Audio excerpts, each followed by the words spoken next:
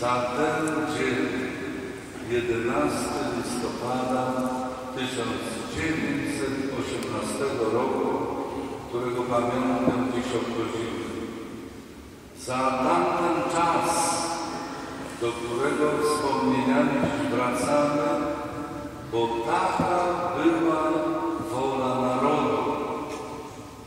A jaka jest dzisiaj wola narodu? Czego naród pragnie? Dokąd zmierza? Do jakiego celu jest prowadzony? Zadziwiająca nastąpiła przemiana. Ci, co niedawno zdejmowali krzyże, ci, których one raziły w lekcyjnych klasach i miejscach pracy, dekorują krzyżami innych, często tych, których wcześniej prześladowano, zamykano w więzieniu. Ludzie, których ręce są zbroczone krwią przez ich udział w zbrodniczym systemie, dziś chcą pouczać, umoralniać, głosić prawdę, być wybawicielami narodu. Ci, którzy niszczyli patriotyzm ducha narodu polskiego, którzy zabraniali obchodzić 11 listopada i 3 maja, którzy zabraniali w tym dniu wywieszać flagi narodowe, bo bliższe im były czerwone sztandary, dziś uważają się za obrońców demokracji i ładu konstytucyjnego.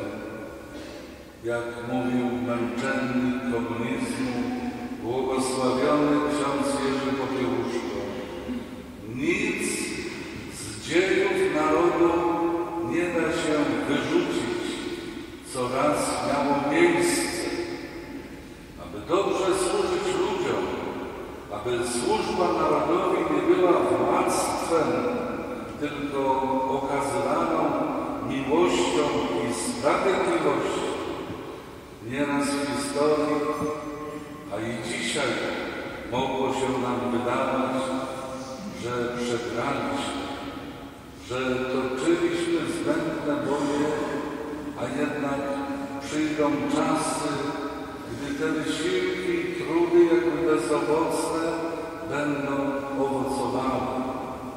Przyjdą czasy, mówi błogosławiony ksiądz Jerzy, kiedy zbrodniarze odpowiedzą za swoje zbrodnie. Ręce bowiem splamione krwią są jak znamie kalinowe. Przyjdą czasy, że kłamcy i oszczercy, dający obietnice bez pokrycia, zdadzą sprawę z każdego wypowiedzianego słowa. Przyjdą czasy, że rządy będą praworządne i sprawiedliwe, solidarne z narodem, a nie dbające tylko o swoje posady i partie, z których się wywodzą. Przyjdą czasy, mówi ksiądz Jerzy, że zbrodniarz nie będzie się utożsamiał z ofiarą, a sprzedawca i zdrajca narodu z jego dobroczyńcą. Przyjdzie czas, że otrzymujący od narodu władzę będą o ten naród dbali i troszczyli się. Wołamy więc dziś szczególnie do Pana Boga tą starożytną pieśnią. Przed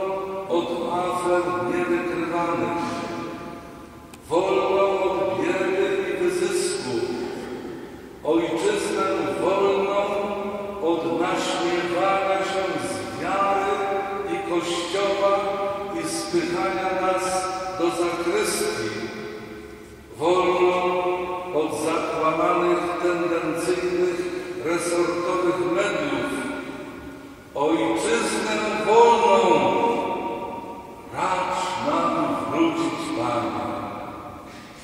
Sława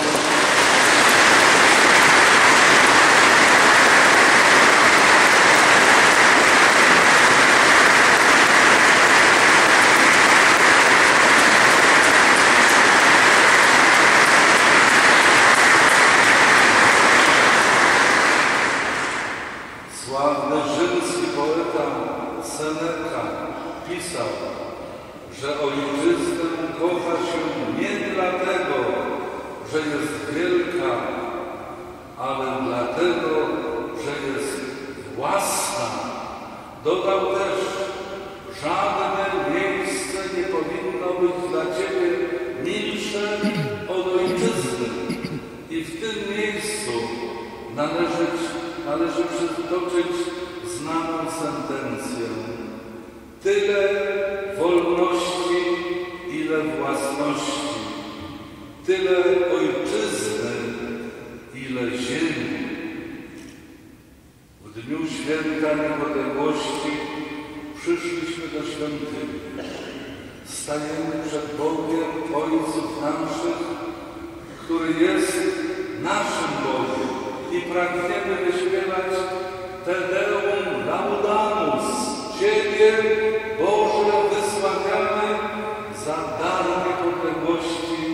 która przyszła w tamten odległy listopadowy dzień. W święto niepodległości przyzywamy z wdzięcznością wszystkich, którzy dobrze zasłużyli się ojczyźnie.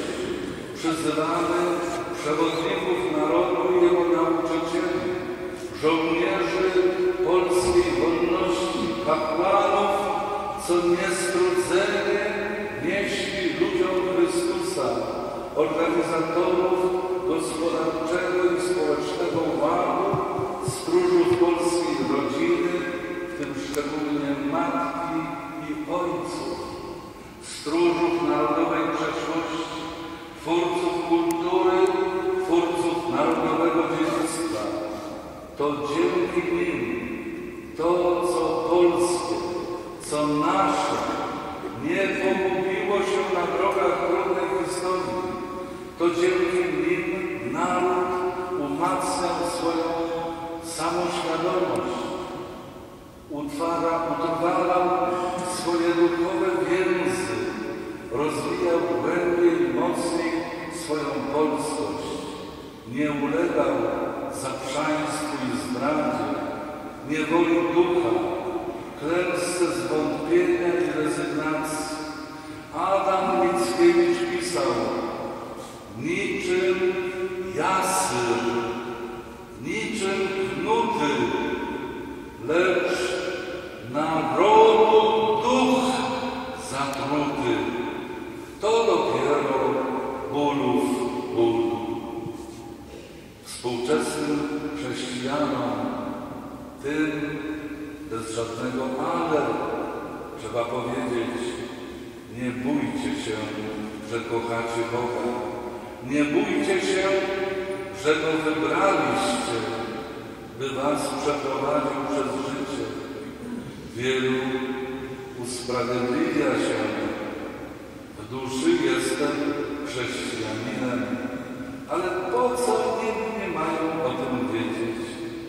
I czynią wszystko, żeby nikt się o tym nie dowiedział i nikt ich nie rozpoznał. A prawdziwy chrześcijanin nie ma dwóch, dwóch serc, dwóch języków, podwójnego życia prywatnego i publicznego, ale ma tylko jednego Boga, jedną prawdę i życie Jezusa Chrystusa, jedną duszę i jedną wieczność. Dzisiaj, 97. rocznicę odzyskania niepodległości, nie można nie myśleć o Polsce, o naszej umiłowanej ojczyźnie. Kiedy myślę o Polsce, to widzę pierwszy ogromny krzyż postawiony na ziemi ojczystej. Uświadamiam sobie ponad tysiącletnią historię mojej ojczyzny. Słyszę mówiącego w Warszawie 2 czerwca 1979 roku Jana Pawła II. Kościół przyniósł Polsce Chrystusa, to znaczy klucz do rozumienia tej wielkiej i podstawowej rzeczywistości, jaką jest człowiek. Bez Chrystusa nie można zrozumieć dziejów Polski oraz te znamienne słowa. Niech stąpi duch Twój i odnowi oblicze ziemi, tej ziemi. Kiedy myślę o mojej kochanej Polsce, to słyszę Bogu rodzica, dziewica, Bogiem sławiona Maryja. To widzę polskie rycerstwo na polach Grunwaldu i posłów papieża Innocentego XI przybywających z prośbą Królu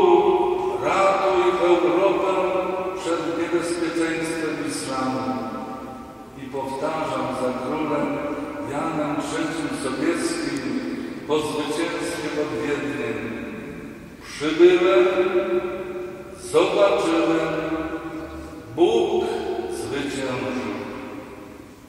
Myślę o wielkiej potędze militarnej tamtych czasów,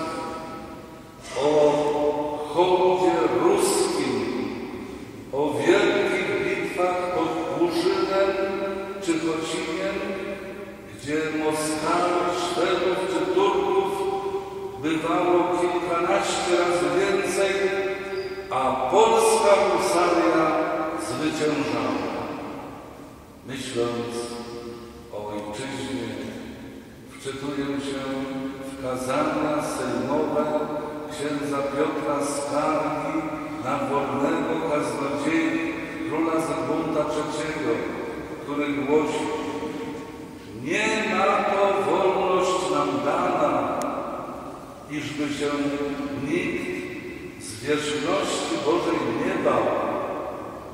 Jeśli jej wy was Pan Bóg odejmie, iż się wam w ciężką niewolę, broń Boże, obróci. Gdy bojaźń Boża ginie i wstyd i honor upada. Przeklęty, kto zasmuca matkę swoją, a która jest pierwsza i matka jako ojczyzna, od której imię macie i wszystko, co macie, od niej jest. Ustawicznie się mury Rzeczypospolitej ruszają, a wy mówicie nic, nic. Nie rządem Polska stoi, a wy nic. Lecz gdy się nie spodziejecie, upadnę i was wszystkich przykłuczę. To Królestwo Polskie na religii świętej się osnowało i nigdy jej nie odmieniając, a teraz na katolicką wiarę świętą i na kapłaństwo jady swoje i nieprzyjaźni ostre podnoszą. Jeśli zapomnę Ciebie, Ojczyzno moja, niech przywrze język mój do mego podniebienia, niech uschnie moja prawica, a Ty, Boże, na niebie zapomnij o mnie. Kiedy myślę o Polsce, kojarzy mi się wołanie na bohatera Sienkiewicza.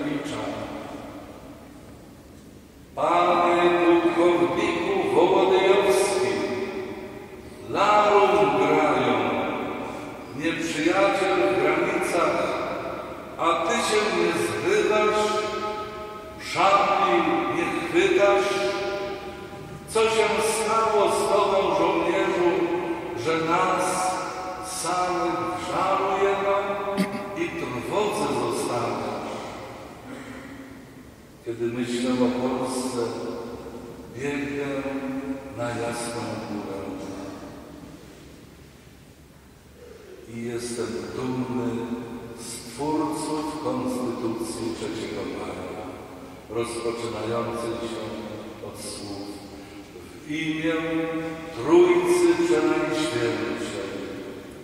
A dziś Boga odstawiamy na pobocze. Żyjemy tak, jakby go nie było. Widzę podchorążych kosynierów, kibitki na synie pędzone, słyszę rozbity fortepian Chopina i przypominam sobie katechizm dziecka polskiego. Kto Ty jesteś,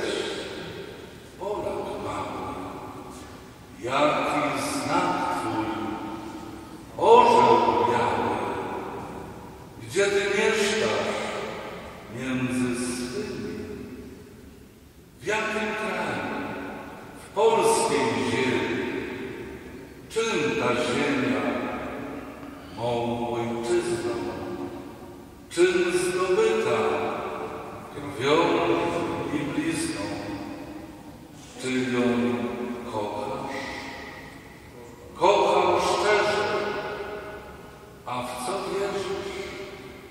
W Polskę wierzysz.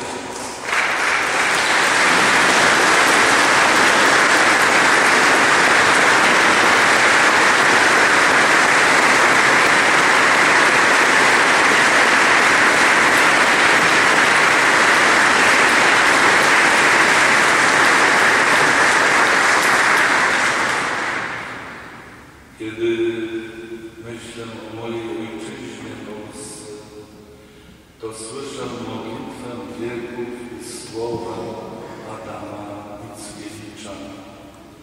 Ile Cię trzeba cenić, ten tylko się dowie, kto Cię straci. Widzę całą historię ludzi mądrych, mocnych, uczonych i świętych. Widzę bogactwo mojej kultury, biblioteki, muzea, uniwersytety, szkoły, pałace, zamki, dwory, budowle i kościoły, nekropolie, muzykę, malarstwo, literaturę, stroje dworzan, mieszkań i wieśniaków, wojów, rycerzy, żołnierzy, powstańców, bohaterów nauczycieli i zdrajców.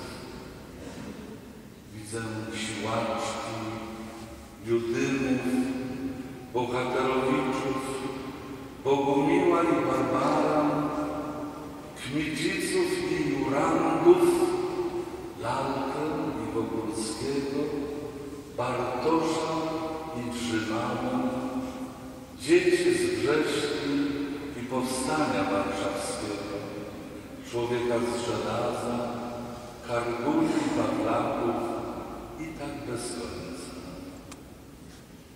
Kiedy myślę o mojej umiłowanej Polsce, to widzę świat pracy i protesty w Poznaniu, w Gdańsku, w Radomiu, w Płocku, Lublinie i pytam tych z 13 grudnia 1981 roku, jakie były wtedy wasze tęsknoty, jakie nadzieje rozbrzmiewały wasze sercach mroźne, grudniowe dni. Kto był wtedy z wami? Jakie organizacje was wówczas wspierały? Kto wam pomagał? Kto się o was upominał? Kto was bronił? To był tylko Ojciec Święty, Jan Paweł II i Kościół w Polsce. Ilu z was o tym pamięta? A wielu odwróciło się plecami i nie chce o tym myśleć. Więcej, nawet jak mogą wyrządzają krzywdę Kościołowi. Kiedy mówię ojczyzna, wsłuchuję się w nauczanie prymasa tysiąclecia. Chciałbym, żebyśmy to już na zakończenie sobie bardzo mocno zapamiętali. Dla nas, po Bogu, największa miłość to Polska. Gdy w Polsce rodziła się Solidarność i nadchodził mały czas, na krótko przed swoją śmiercią prymas tysiąclecia wypowiedział te słowa. Jeśli ludzie nie staną się uczciwi, prawdą mówią, gotowi do podejmowania tego, co trudne, co wymaga samozaparcia i poświęcenia, jeśli nie będą się z nikim liczyć, jeśli zaburzą swoje sumienia, jeśli staną się cyniczni, lekceważący wszystkie normy moralne, to naprawdę nie będzie miało żadnego znaczenia, jaka koalicja, jaka partia dojdzie do władzy i jaki wprowadzi system społeczny czy polityczny, czy ma jakieś znaczenie, jakiej opcji politycznej jest człowiek mający dostęp do kasy, kasy państwowej, jeśli będzie nieuczciwy,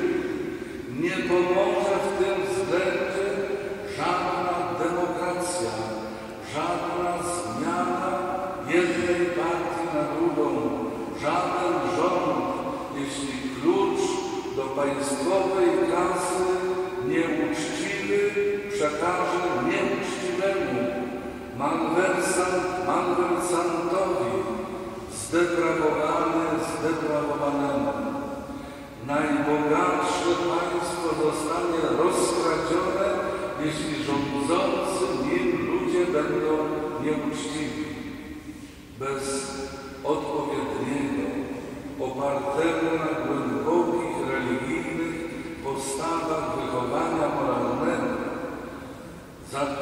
na początku w rodzinie, w szkole i w całym życiu społecznym, jeśli tego nie będzie, to nie da się zmienić ludzi. Dlatego zacznijmy od prostego. Tak to znaczy tak, a nie to znaczy nie. Brzydźmy się kłamstwem i oszukaństwem oraz cynizmem